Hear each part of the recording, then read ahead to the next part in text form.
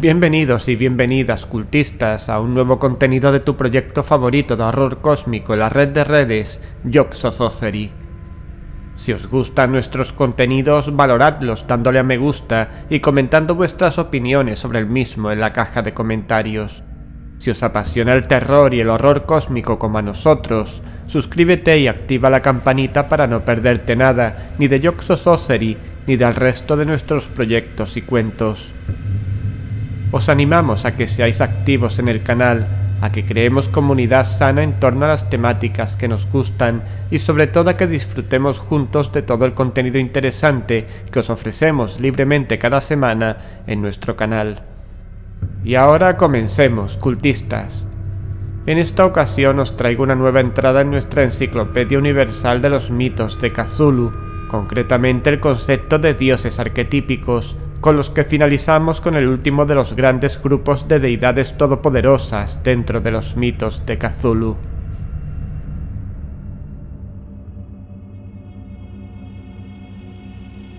Las deidades arquetípicas son, como ya he adelantado, el tercer gran grupo de entidades alienígenas inmortales con poderes sobrenaturales, habitantes del inmenso cosmos, junto a primigenios y exteriores.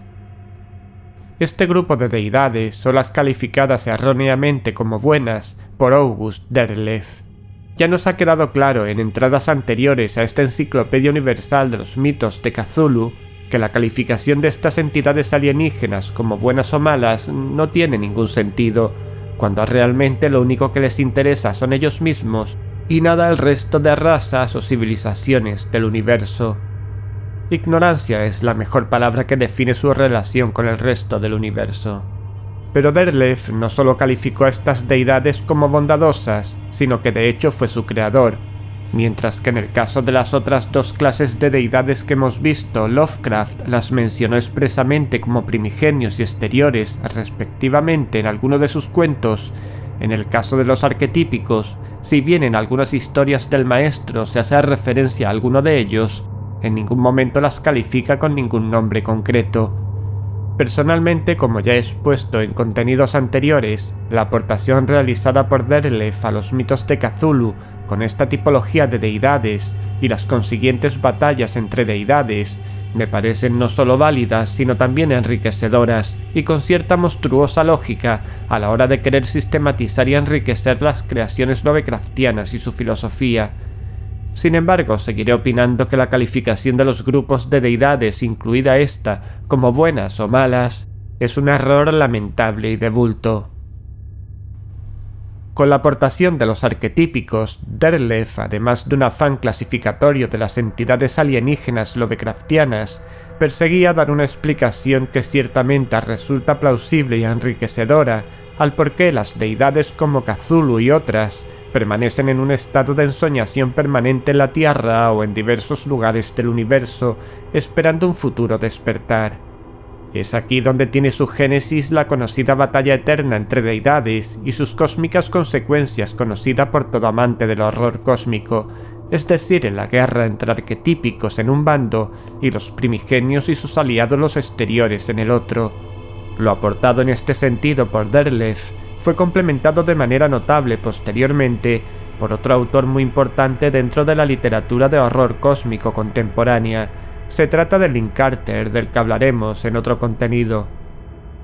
Con la información aportada por ambos autores, a continuación os ilustraré lo que ocurrió hace eones en el profundo cosmos y cuál es su situación actual. Todo ello lógicamente en el ámbito literario, por más lógico o veraz que pueda parecer lo que os expondré.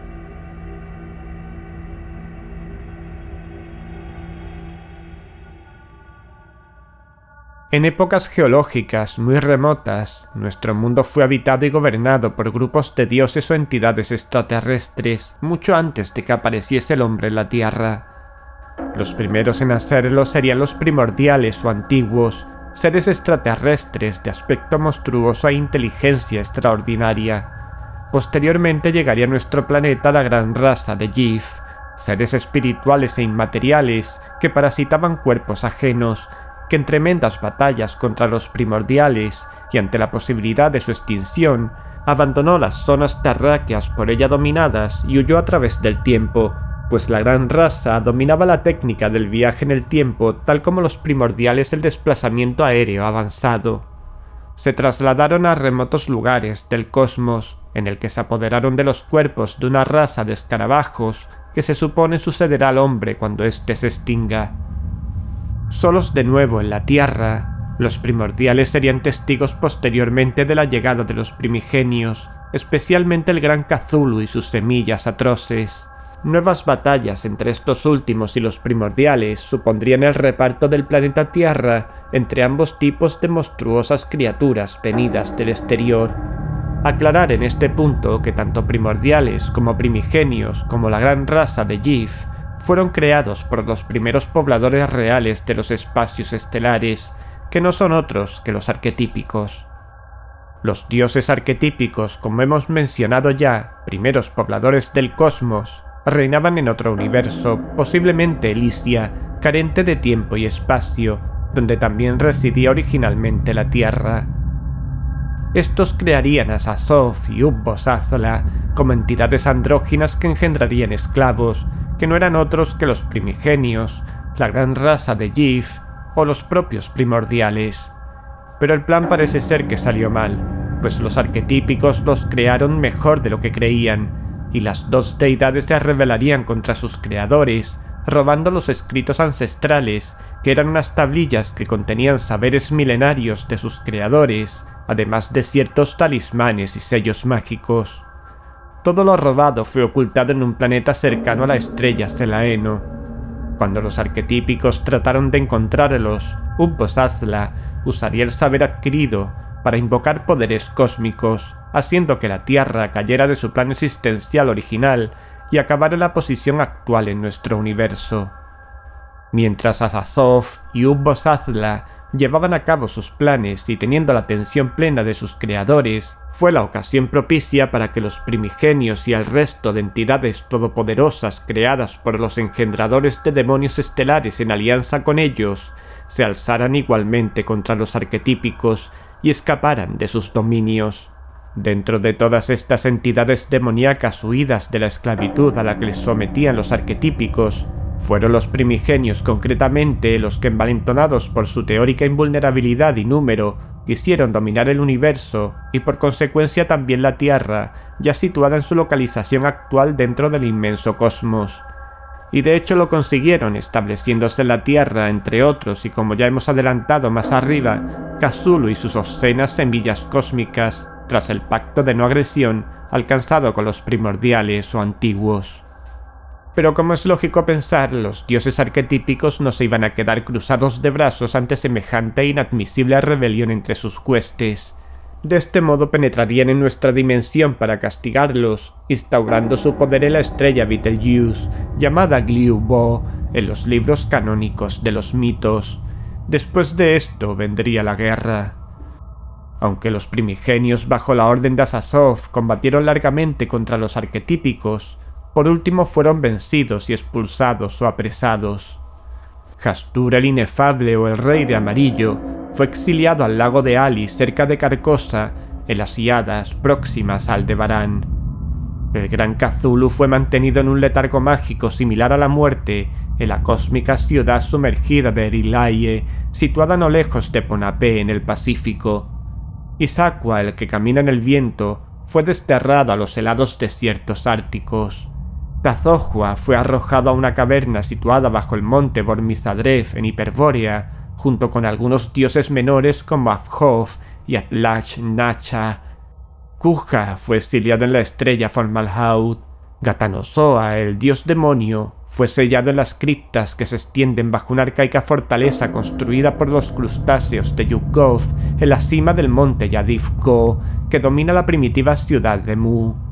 Muchos dioses menores fueron obligados a refugiarse en el negro castillo de Onise que corona la ciudad de Kadaf, situada en el desierto de hielo, en la zona en la que el mundo de los sueños penetra en nuestra tierra. Arrojaron a Izoja, el segundo retoño de Kazulu, a un abismo de Ige, una de las provincias de Mu, y encadenaron a Sof of Mog en el fondo del océano, no lejos de la isla de las ciudades sagradas. Por otro lado, los arquetípicos redujeron a una impotencia debilitante a las dos entidades gemelas que habían conducido a la rebelión, Asasov, el sultán de los demonios, y Ubbosazla, la fuente impura. Arrojaron al primero más allá de los límites físicos del universo, en el caos primordial del que nunca volverá privándole de inteligencia y de voluntad, lugar al cual les acompañó yog y condenaron al segundo a una región subterránea que las historias designan simplemente como la Gris y Qua. De los exteriores, solo Nyarlathotep parece haber evitado tanto la prisión como el exilio. El encierro o exilio de los rebeldes primigenios y de los exteriores bajo el yugo de los arquetípicos fue llevado a cabo por estos últimos, con el uso de la protección cósmica que aporta el sello arcano. Este sello arcano, creado por una de estas deidades arquetípicas, concretamente en Se Bla, tiene la cualidad de neutralizar los poderes mágicos o sobrenaturales de los primigenios o de cualquier entidad o criatura amenazante o peligrosa para ellos, sumiéndolos en un estado de sopor o sueño eterno, si bien esto, como ya veremos, no supone que su influjo sobre las criaturas del cosmos sea nulo. Todas estas criaturas alienígenas encerradas en distintos puntos de los universos como he descrito anteriormente sobre las principales, aún siguen atrapadas en su letargo eterno bajo la estrecha vigilancia continua de los arquetípicos desde la gigante roja Betelgeuse.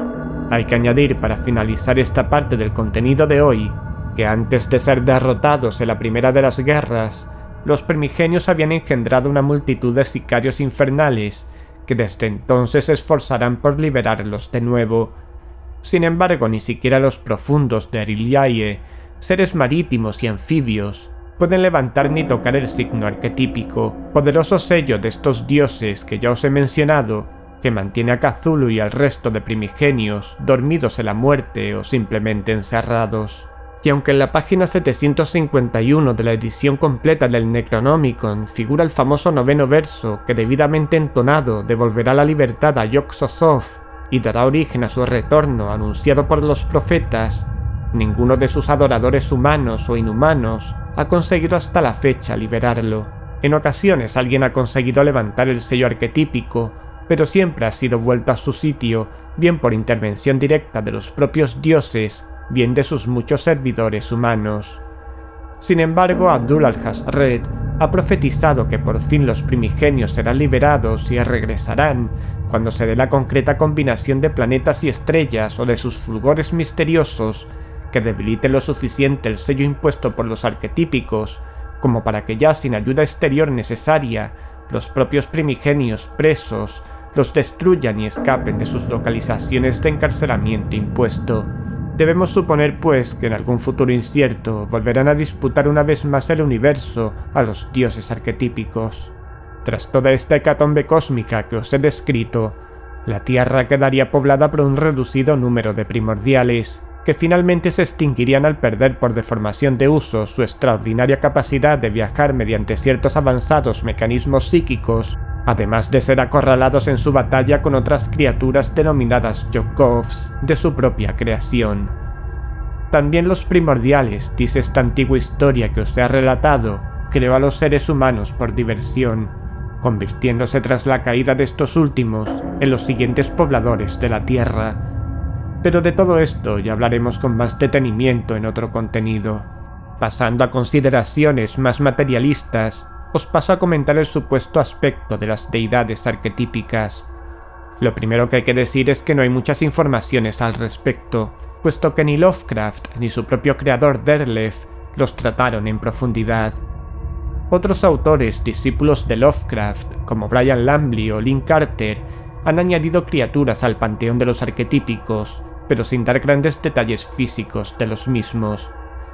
Parece ser que son de tipo antropomórfico, es decir, que tienen parecidos razonables con los seres humanos, aunque no todos cumplen este requisito, siendo el aspecto de algunos de ellos tan monstruosos como el de los propios primigenios. En común tienen con los otros dos tipos de deidades su poder inmenso, su tamaño titánico y su inmortalidad plena. Por ello se deduce que cuando en el ámbito de la guerra de deidades se afirma que los primigenios desean destruir a sus verdugos, los arquetípicos, al despertar de su sueño eterno, No nos referimos a matarlos físicamente, ya que no podrían en virtud a la inmortalidad de estos, sino devolverles la moneda, es decir, encerrarlos eternamente condenados a un sopor o sueño eterno, aunque el instrumento con el que pretendieran hacerlo bien pudiera ser el sello arcano que os he mencionado anteriormente, e incluso una variante de este último de características aún más potentes. En este sentido no debemos olvidar que los primigenios en libertad son tan poderosos como los propios arquetípicos. En cuanto a los miembros que conforman este grupo de deidades, las más conocidas son las siguientes. Kazanid, la eminencia, parece ser identificado como el hermano de Cthulhu, del que se diferencia por sus ojos dorados. Nodens, gran señor del abismo. Ulzar, encargado de la vigilancia perpetua de los primigenios. Bast, diosa de los gatos. Aparece con forma femenina pero con cabeza felina. Hypnos, señor del sueño de apariencia desconocida. Nsekambla, creador de los símbolos arcanos utilizados para retener a los primigenios bajo el influjo del sueño eterno. Bordavoz, que parece ser un encapuchado con ojos ardientes y cubierto por llamas verdes. Yad Zaddah, el que parece ser el equivalente a Sothoth. En posteriores contenidos os compartiré más detalles de cada una de estas deidades. Por otro lado, la manifestación de estas deidades arquetípicas en nuestro planeta es casi inexistente, tal es su desdén hacia nuestra raza o sus posibles cultistas. Parece ser que gustan de moverse en otros planos y en otras dimensiones.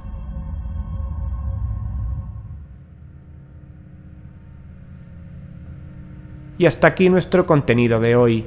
Espero que os haya gustado y os haya parecido interesante. Si es así no olvides dejar tu me gusta, tu comentario y suscribirte al canal activando la campanita para no perderte ningún nuevo contenido. Comparte los contenidos con familiares, amigos y conocidos o háblales simplemente de nosotros y coméntales dónde encontrarnos. De esta manera nuestra comunidad crecerá y muchas más personas podrán disfrutar de todos nuestros contenidos y de nuestra maravillosa comunidad en torno a la literatura de terror y el terror como género. Apoya activamente el mejor canal de horror cósmico y terror de la red de redes, Sorcery y Terror y nada más, y sé parte de su éxito. Nos vemos muy pronto, cultistas. Ya, ya, Cthulhu Fang.